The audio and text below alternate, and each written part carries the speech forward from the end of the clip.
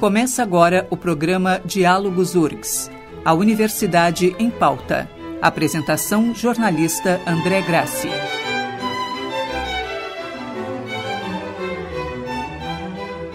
Olá, está começando Diálogos URGS, a Universidade em Pauta, o espaço para quem está à frente da administração da universidade. Esta é uma experiência multiplataforma da Rádio da Universidade e da URGS TV. Nós vamos ao ar pelos 1080 AM e pelo website da rádio nas terças-feiras às 11 da manhã. E logo depois o programa fica disponível no canal YouTube da URGS TV. Vamos ao ar ainda pela UniTV, canal 15 da NET de Porto Alegre. Rádio da Universidade 1080 AM. Hoje nós estamos recebendo aqui no programa a Pró-Reitoria de Assuntos Estudantis, a PRAI, a professora Suzy Alves Camei. É Camei ou Camei, professora? Camei. E também o Cláudio Roberto Paiva, diretor da Divisão de Esportes da PRAI. A gente muda um pouquinho o formato do programa nesta edição para, em primeiro lugar, professora, uh, trazer para os nossos ouvintes e telespectadores um pouquinho sobre a pró-reitoria, né? que acho que a maior parte das pessoas conhece pelo restaurante universitário e pelas casas de estudante, né? mas que na verdade tem uma série de atividades aí relacionadas uh, justamente aos assuntos estudantis, né? a tudo que os estudantes precisam uh, estando na universidade. Isso mesmo. Uh, a gente vem desde o ano passado é, recebendo convites né, e aceitando convites das unidades acadêmicas justamente para, junto aos alunos, esclarecer um pouco, contar um pouco o que a nossa Pró-Reitoria faz, né? E nessas apresentações eu sempre brinco com eles, né? Apesar do nome Pró-Reitoria de Assuntos Estudantis, não são todos os assuntos que diz respeito a essa Pró-Reitoria, né? Então é sempre importante a gente poder esclarecer o que, que nós fazemos, né? Então nós temos, uh, podemos dividir as nossas linhas de ação em dois grandes grupos. Né? Então a gente tem uma linha de ação que é voltada para todos os estudantes da URGS. Aí, como tu citaste, né? nós, nós é que administramos os restaurantes universitários, que vai desde a preparação do cardápio até a fiscalização dos contratos das empresas que trabalham com a gente. Né? Uh, nós administramos as casas estudantes também, mas nessa linha mais geral tem o restaurante universitário, nós temos as bolsas PRAI, né, como está conhecido na nossa comunidade, que são bolsas que nós chamamos de aperfeiçoamento técnico, que permite que o aluno tenha contato com o dia a dia da universidade, né, como é que administrativamente a universidade uh, funciona, que são bolsas que são para estudantes de todos os cursos, né, tem uma parcela dessas bolsas, metade delas que são para alunos que aqui na PRAI, que aqui na URGS a gente chama de beneficiários, que são alunos que são provenientes de famílias com renda per capita abaixo de um salário mínimo e meio, e as outras bolsas não têm uh, nenhum filtro, né? não tem nenhuma reserva, todos os alunos podem concorrer. E uma terceira ação, que, né, que eu chamo de universal, que, que é para todos os estudantes, são os esportes, que depois o Cláudio vai detalhar um pouco mais. A nossa outra linha de ação que é muito forte é justamente com os alunos beneficiários. Né? Uhum. Nós temos um programa de auxílios e benefícios destinados para esses alunos. Esses eh, benefícios são concedidos através de um recurso recebido do, pelo MEC, né? o MEC destina esse recurso para nós. Uh, esse recurso vem do Programa Nacional de, de Assistência Estudantil e é um recurso destinado para diminuir as desigualdades sociais desses alunos para os demais alunos da universidade. Né? Uh, todos os alunos que têm esse perfil socioeconômico têm direito a acessar os nossos benefícios, não apenas aqueles que entram pelas cotas de renda. Né? Então, um aluno que entrou por acesso universal, ele também pode solicitar os nossos benefícios. E é uma gama bastante ampla, né? Vai, temos a isenção do RU, vagas na moradia estudantil ou um auxílio moradia, auxílio creche, auxílio transporte, auxílio material escolar, auxílio participação de eventos. Então a gente modulou o programa para ficar dentro das linhas permitidas do PNAES, né, que são essas que a gente que eu acabei de citar. E com isso a gente tem conseguido atender em média 4 mil estudantes uh, aqui dentro da URGS com esses benefícios. Nós já tratamos aqui no programa em outras edições do, das ações afirmativas e só reforçando né, que esse programa de bolsas ele complementa de certa forma, mas não se confunde com o programa de ações afirmativas, como a senhora estava explicando, né? Sim, com certeza, né? O programa de ações afirmativas ele é voltado muito para a vivência do estudante dentro da universidade, a recepção, e a gente tem uh, um, um olhar né, mais atento para as necessidades, vamos dizer assim, materiais dos alunos, sem deixar de lado outras necessidades, né? O uhum. nosso, a nossa pró-reitoria conta com um conjunto de assistentes sociais, psicólogos e pedagogos, né? Que estão organizados de maneira a prestar um apoio para esses alunos, né? Tanto para o encaminhamento de questões de saúde, infelizmente, né? A universidade não possui equipes para prestar uma assistência médica para os alunos, mas a gente construiu uma rede onde a gente consegue fazer encaminhamentos junto à rede pública, né, indicar aos alunos quais são os serviços que eles devem procurar quando sentirem necessidade.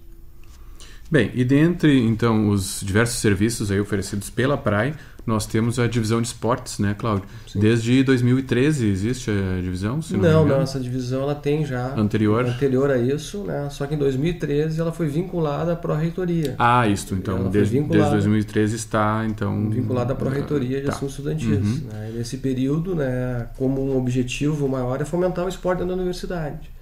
Nós temos duas linhas de atuação. Né? Uma linha uh, competitiva, né, que são as equipes que são formadas dentro da universidade para participar então de eventos a nível competitivo universitário. E nós podemos citar aí a CBDU, que é uma confederação então que organiza os eventos a nível nacional. Né? E depois nós temos as federações estaduais, a FUJI, que é a gaúcha, que organiza principalmente os Jogos Universitários Gaúchos, que até vão ocorrer agora em junho né, nas instalações da URGS, da EZFID, né, natação, atletismo, tênis de mesa, xadrez, rugby, e na sequência, né, no, nos outros finais de semana, na UBRA. E nós então temos os esportes coletivos. Então a URGS participa efetivamente de todas as modalidades esportivas né, uh, desenvolvidas pela FUJI. Podemos citar aí voleibol, basquete, handball, futsal, futebol, natação e envolvemos mais de 250 alunos atletas. E esses alunos, então, eles treinam durante a semana, principalmente pela nossa parceria com a Exefit, né, que nos cede o espaço, né, principalmente o ginásio, o campo de futebol, onde acontecem os treinamentos. E na sequência, então, nós vamos disputar uh, o JUGS com as instituições né, co-irmãs no Rio Grande do Sul, cito Santa Maria, né, Unipampa e depois as instituições particulares. Os campeões dessa fase eles ficam credenciados para participar do JUBES, que são Jogos Universitários Brasileiros, aí sim, organizados pela CBDU.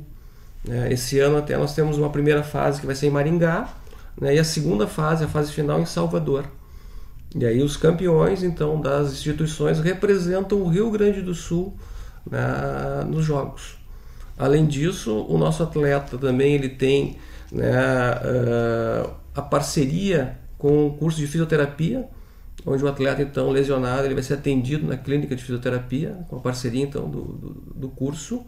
Nós temos também um apoio na sala de musculação, né, para desenvolver então os treinamentos dos atletas. Então, se nós observarmos aqui um, né, uma organização é bem interessante né, para o atleta, já que a gente não pode passar uma bolsa para ele, que é diferentemente do outro modelo das outras instituições particulares. Uhum. Então, a nível competitivo, a gente tem tido né, sucesso né, nessas demandas, né, o envolvimento desses alunos. Uhum.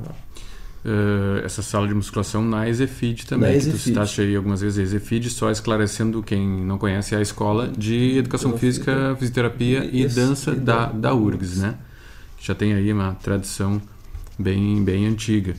Uh, agora, é, Cláudio, falando dessas competições, né, e, e, em diversas modalidades, as equipes que a gente tem, a URGS é, é um mundo, né? Então, é, muitas vezes as pessoas não conhecem muitas coisas de, é, que são realizadas aqui dentro. E acho que essas atividades são, podemos dizer que estão entre elas, né? Que pouca gente sabe disso que tu falavas é, é. agora, né? De que a gente tem equipes de diversas modalidades. Quais são as modalidades aí que a gente tem atualmente? De, de... É, futebol, futsal, handball, basquete, voleibol, natação, atletismo, rugby, tênis de mesa e xadrez. Judô.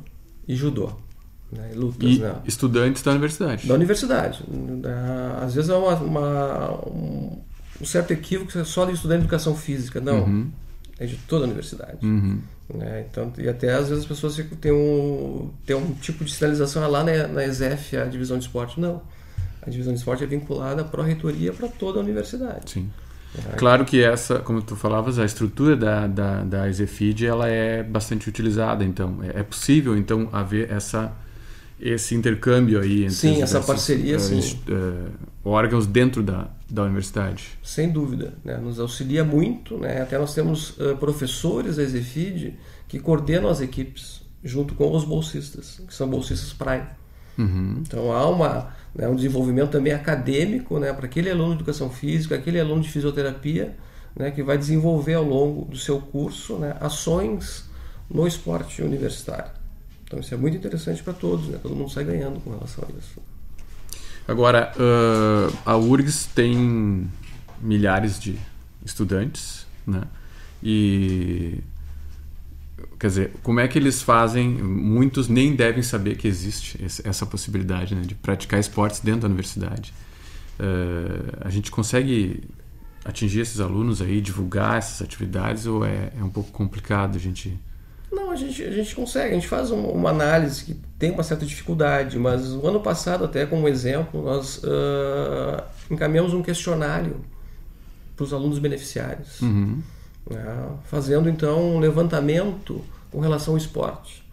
Se conhece, qual tipo de atividade né, tem interesse em fazer. Então nós tivemos aí mais de 800 respostas de questionário. Uhum. Né? E a partir daí então nós estamos tentando encaminhar essas demandas através de parcerias também com a Exefid. Nós temos vários projetos de extensão lá na Exefid, né? então nós estamos tentando então uh, que sejam acolhidos esses alunos nesses projetos.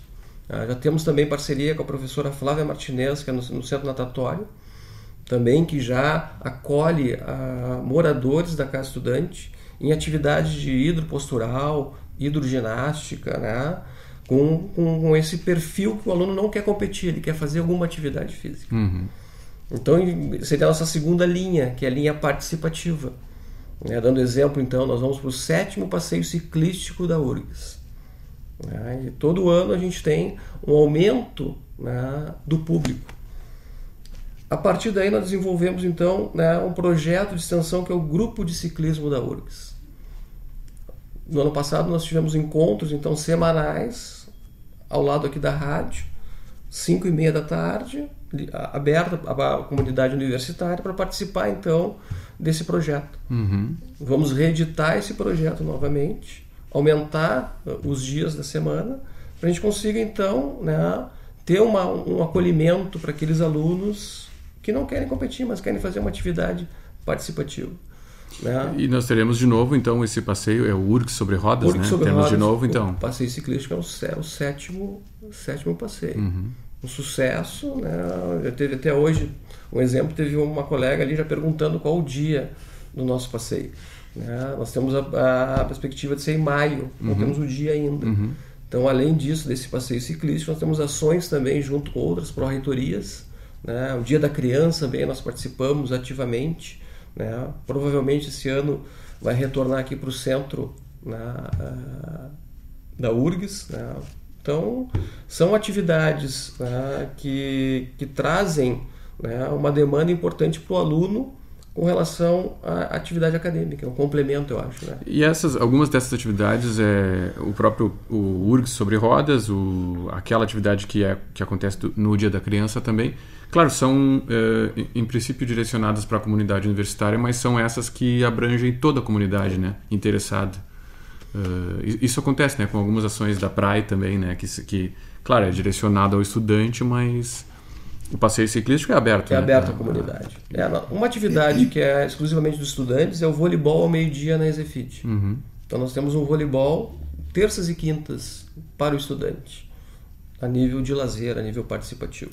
O ano passado também a gente teve o Dia da Cultura, né? Que também É, teve Exatamente. um apoio da divisão. Não É. foi tão grande quanto a gente imaginava no início, porque teve a chuva, mas teve O atividades slackline, slackline. slackline né? então a gente tem né, esse contato permanente com, com- com atividades que envolvam também a cultura e o esporte. E a ideia, a partir desse semestre, é que a gente tenha uma ampliação das atividades junto aos projetos de extensão.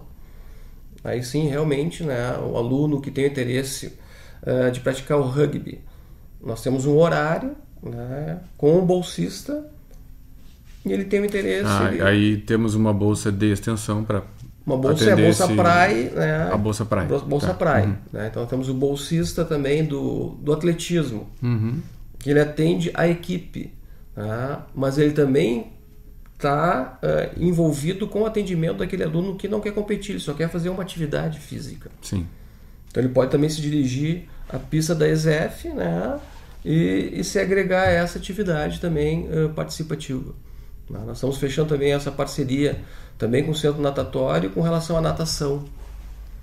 né? Que a gente consiga vagas né, ah, gratuitas para alunos também beneficiários. Porque nesse levantamento que a gente fez, uma grande demanda dos alunos eram atividades de natação. Natação, mais de 200 alunos né, Manifestaram que fizeram- tinham interesse de, de ter a prática, né? Não participar das equipes, mas praticar.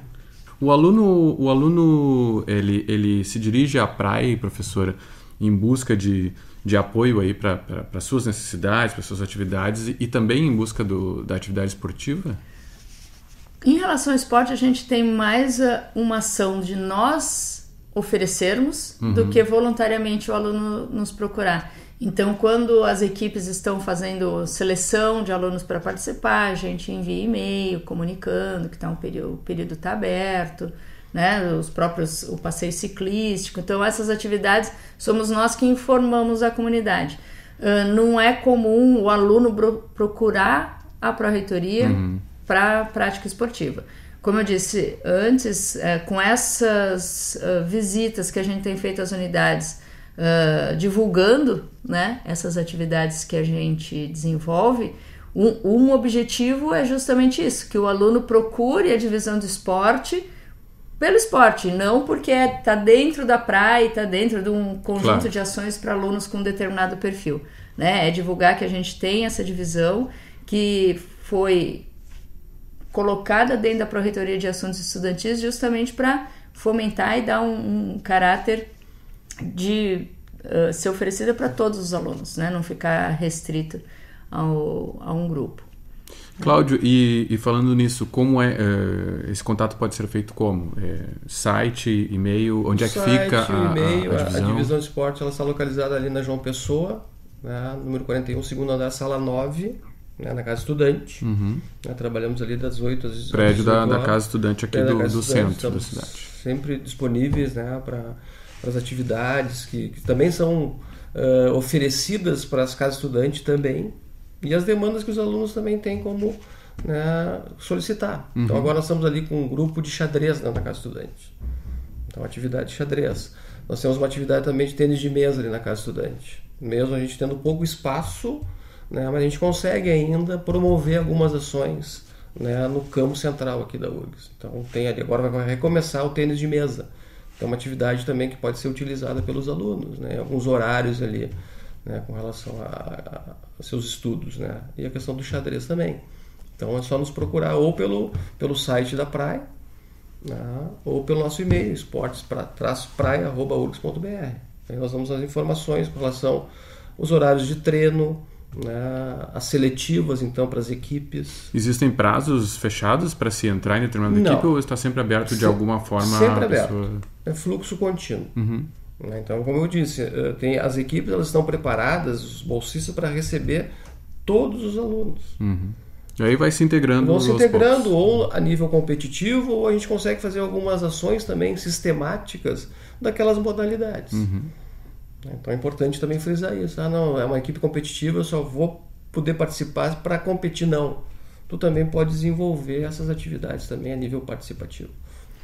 Uma outra coisa importante de relatar é que a divisão também é procurada às vezes na organização de competições dos alunos. Então, alguns coletivos, atléticas, nos procuram para oferecer apoio para a realização dessas competições. Às vezes, intermediar o diálogo com a Exefid, conseguir um espaço e a gente também cumpre esse papel aqui dentro. Iniciativas independentes Independente do, do, dos, dos próprios alunos, de grupos de alunos, por exemplo. Existe isso. isso. Se organizam, querem fazer um campeonato. Um diretório, um diretório da história também foi bem, uhum. bem foi frequente uhum. né, o ano passado, retrasado, de nos procurar para a gente fazer essa intermediação do espaço na compra às vezes de, de, de medalhas, uhum. né? arbitragem também para a gente conseguir essa parceria junto com os alunos da ESEF, da ESEFID, né? Uhum. Então tem vários diretórios também que nos procuram né? nesse sentido da, de nos dar o apoio na, na, na organização desses eventos. Né? O próprio DCE também, né? do ano passado, teve algumas atividades que nós fomos parceiros com o DCE. Né? Tem o próprio... Uh, e basicamente os diretórios também têm essa, essa função. Muito bem, nós agradecemos então, professora Suzy Alves Camei, pró-reitora de Assuntos Estudantis da Universidade, Cláudio Roberto Paiva, diretor da Divisão de Esportes da PRAI. O público pode entrar em contato com o programa pelo e-mail diálogos.urgs.br. O Diálogos URGS é uma parceria entre a rádio da universidade e a URGS TV. Aqui pela rádio, este programa teve produção e apresentação de André Grassi. Na técnica, Jefferson Gomes, com a supervisão do engenheiro Luiz Speroto. Pela URGS TV, imagens de Gabriela Scott e Vinícius Dutra. Nos 1080 AM e na internet, nós voltamos na próxima terça-feira, às 11 da manhã. Até o próximo programa.